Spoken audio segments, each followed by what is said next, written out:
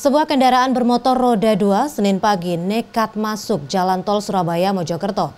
Motor tersebut menyelinap masuk ke jalan tol dengan dalih mengikuti petunjuk arah dari Google Map. Masuk sepeda motor S. Dalam rekaman video amatir ini, tampak pengendara motor melaju kencang di jalan tol Jombang Mojokerto, tepatnya di kilometer 697, Kecamatan Kesamben, Jombang. Menurut manajer operasional Tol Jomo, Udi Dwi Saputro, pemotor tersebut masuk melalui res area Tol Surabaya Mojokerto di kilometer 726 yang biasanya dijadikan jalan untuk keluar masuk petugas tol. Dari pemeriksaan yang dilakukan, pemotor mengaku masuk ke jalan tol karena mengikuti Google Map untuk pulang ke kampung halaman di Kecamatan Diwe, Jombang.